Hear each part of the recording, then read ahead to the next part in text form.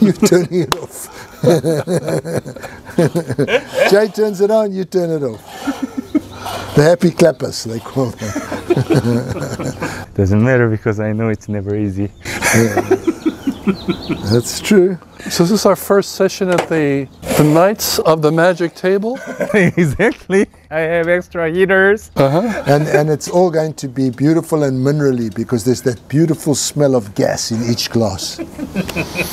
If you want the smell of gas, methane, I can provide that for Oh, you. okay. Okay. So today we are going to taste the Beaujolais wines. okay. So I prepared uh, five bottles. Okay. So one Beaujolais Nouveau, two Beaujolais Village Nouveau, and two Beaujolais Cru. Beaujolais, part of Burgundy, though often considered separate. Beaujolais, for the most part, is Gamay. Right. Right. There's a little bit of Pinot, but some Pinot. Yeah. and uh, producing a wine fruity and delicious, particularly at the cru level. These wines can afford wonderful value and are great food wines, can be very delicious.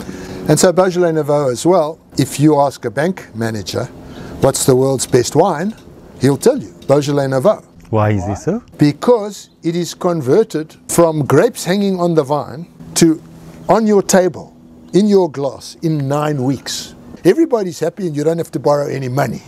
But in order to make the wine uh, truly palatable within nine weeks, Beaujolais Nouveau, for the most part, is made by a process called carbonic maceration, whereby intracellular fermentation takes place. That way, you get brightly colored wine, and some people love it as sort of candy apple character. Mm-hmm. Candy apple character. Yeah. Yeah. Candy apple, sometimes there's there's some, Bubble some gum. banana. And that the bottom line is that most fermentations require yeast. So yeast is the primary driver of the fermentation to take sugar down to alcohol and carbon, dioxide. and heat. But with carbonic maceration, it begins without yeast. And so you have these whole berries, and they get covered in a layer of carbon dioxide. And inside the grape itself starts this fermentation, and it's different from other fermentations. Uh, Beaujolais Nouveau was by and large a, a marketing wine. On the other side, the crus, which are not made with carbonic maceration, can age beautifully, can age as well as very good Burgundy, and can last 20, 30 years. Yesterday and the day before yesterday, I went to stores, wine shops to buy Beaujolais Nouveau, but it was not easy to find them. And people working there didn't understand. What it was. Yeah. And I had to explain that Beaujolais Nouveau is the new harvest wine, which arrives Thursday on the third week of uh, November. then No, I no, I mean, I'm just shaking my head because you got people in America working in liquor stores that do not know what Beaujolais Nouveau is. Yeah. I mean, what kind of training are they giving people like this? No shit. I mean, yes, I agree with you. So I explained that, and then the service person uh, reacted like, "Oh, harvest wine." Then I went to another store. Then I wanted a harvest wine. Then he asked me, "What is a harvest wine?" They just don't know, uh, Jay. They just don't know. That's the reason why I have only one Beaujolais Nouveau today. I wondered why you have only one. Okay. I went to three different wine shops. Let's give it a go. One Beaujolais Nouveau, two Beaujolais Village Nouveau, and two Beaujolais Cru. The crus are all villages, and the wine is grown in granite soils. Granite soil. Granite soils. Yeah. I see. So a hint with Gamay, even though the color tends to be light, it has much more purple in it than Pinot Noir. I found for 21 to 24 dollars, 30 plus year old Cru Beaujolais, and the Cru Beaujolais was remarkably delicious and 24 dollars a bottle. Really? For- 30, yeah. 30 plus years? Yeah, yeah, yeah. Wow. Remember, you and I went out and bought a bunch of Bordeaux. So I drank with Jay The 98 The- Latour. the 98 Latour, the last bottle. I've got one left myself. That was a little bit better than this uh, Beaujolais for the turkey. Gi- given the price, it should be, huh? It was excellent. Not the price that we paid for it. Patrick and I got a real deal on it. it was great. It was great. It was still great. Then, Patrick, A Big difference in color between the first three wines and the last two. First three all have substantial amounts of purple, suggesting that they're younger wines.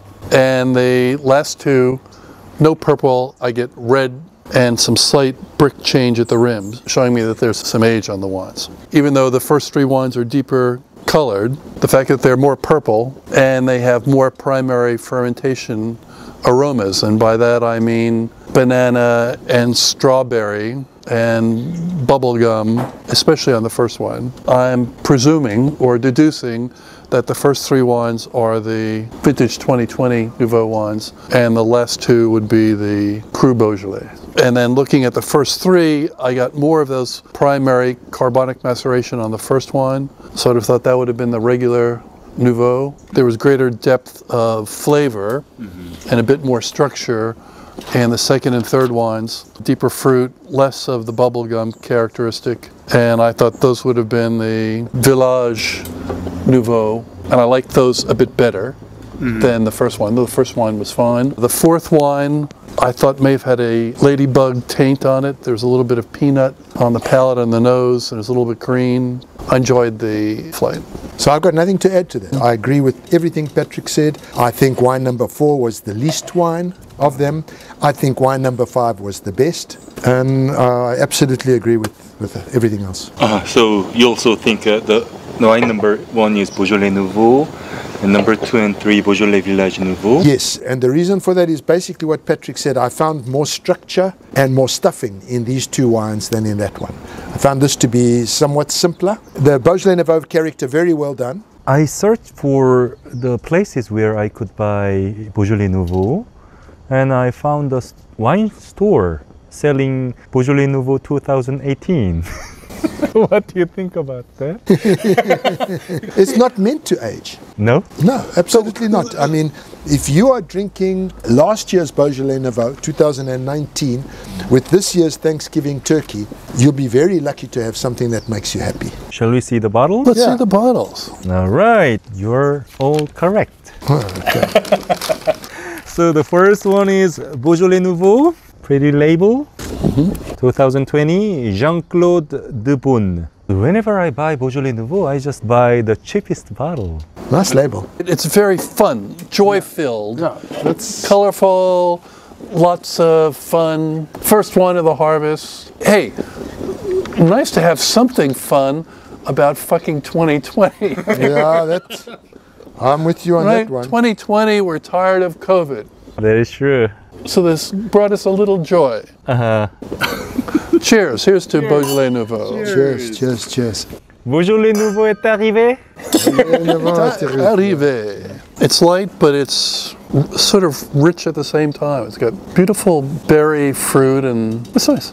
Yeah, I like it very much. Of the two Village Nouveaux, I had a preference for the second one. Me too. Me too. Why is it so? Because I got a little bit of nuttiness on the finish that I perceived to have been slight oxidation. This one had the charm, absolute charm of Beaujolais Nouveau. This one was a better wine in terms of the, the underlying quality of the grapes, mm-hmm. but it lacked a little bit of charm. Mm-hmm. And then this one combined the gravitas of the And the- second one and the with the charm. charm of the first. Yeah, I agree. So shall I unveil Please. number two? Beaujolais Village Nouveau 2020, Henri Fessy. Another festive label. Yeah.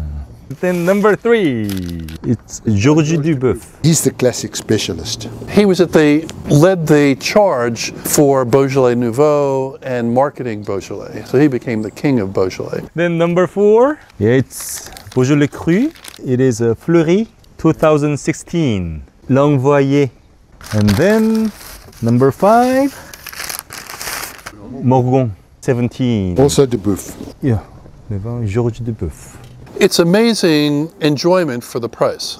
When was your first time to have Beaujolais Nouveau? A gentleman never tells. What are you talking about? when was your last time? Oh, it's been a while. I've drunk quite a lot of Beaujolais, mm-hmm.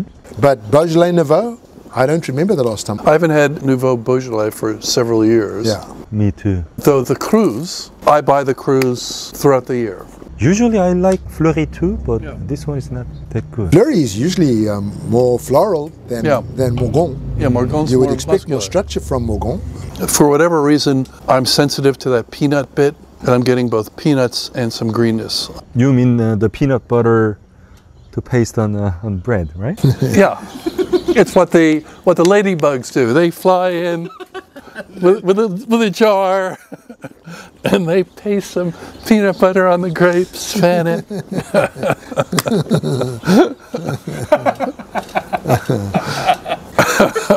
I like peanut butter, but I don't like it mixed with my wine. and there are many people who are confused about Beaujolais Cru and Beaujolais Nouveau. The majority of the people they think Beaujolais wine cannot be aged. And they're wrong. Mm-hmm. They're right that Beaujolais Nouveau should not be aged. Though the Crus can age beautifully for five years, 10 years, and I've had them even 20 or 30 years old, and they taste remarkably like old Burgundy. Cru Beaujolais, among the hidden gems price wise that still exists On the label, you've got all these different names of the village. It's a little tougher for the consumer. Morgon, Fleurie, Brouilly, blah. Chénas. Peter's favorite, Juliénas. Juliénas. Côte de Brouilly. But you have to know those names. That was the reason why I chose uh, these two bottles because uh, I believe they are the most famous ones as Yeah, uh, The, the most Cru. famous villages. Yeah. We're just scratching the surface. Sure. We'll stop telling you lies. Lies. We'll tell you. We'll start to tell you the truth. I thought you never told lies. Me? No. I, about wine, never. Might get it wrong, but I don't lie. Please uh, subscribe and leave a like. That's exactly right. Please subscribe Uh-huh. and leave a like. Well, to his credit, uh, drinking the Latour blind, he nailed it as a first growth. But then, you know, that's cheating too. He probably knew I would only serve him a first growth. Not. Not. I was uh, resisting against the idea that uh, Peter was uh, serving me a first growth. But it was it was really good. a different spot. Hi, hi. Hi. Not any fun for you not being blind tasted. So I thought I'll give you a blind taste because you know what the wines are, except for this one. That is true. Dun dun dun dun dun dun dun. For you, yes. Fun. And, and you can pour a little bit, and Peter and I. yeah. Surprise. Only I know what it is. You know what it is. All right. I think. I better check. Cheers. Cheers. I know what it is by this, just by the smell. Cheers. Cheers. Cheers. This one is good. Mm. Look at the color. A lot of great change. This one is very Bordeaux blending. You think so? Yeah, Bordeaux blend as in the grape varieties or as in you think it comes from Bordeaux as the grape variety. varieties? Okay. Correct. Correct? Oh my God. Pelicans. Pelicans? Yeah. Uh, Bordeaux varieties, maybe a single Bordeaux variety, or something like that. But it doesn't feel French to me. Maybe more Italian to me. Correct. What's the variety? Wait, let's go to Jay first. The Merlot. Yes. Merlot it is. I agree. We have a few more bottles left, and then we're going to have to say goodbye to our Italian Merlot. Uh-huh. That's 1998. It's exactly the same vintage with the Chateau Latour. Yeah. And it holds well. I'll trade you two of those for one of those. All right. No problem. Okay, when you're Take all of done. them. Keep that one. All right. Thank you. I love this one. Peter, what do you think about the location of the camera for you? It's hard for us to have a conversation and for me to look at the uh-huh. at the camera. Probably there would be much better for me. For Patrick here and for Peter, you here. Yeah. And particularly, that's a double win because a great shot of Patrick, great shot of me, and you're not even in the picture. No, I'll be in the picture like this. And Peter like, says, the, like this, Jay. 이럴 땐 이 와인 네이버 밴드로 놀러 오시면 와인을 잘 몰라도 편하고 싸게 사실 수 있도록 제가 많이 도와드립니다. 다들 만족하시고 좋아하시더라고요.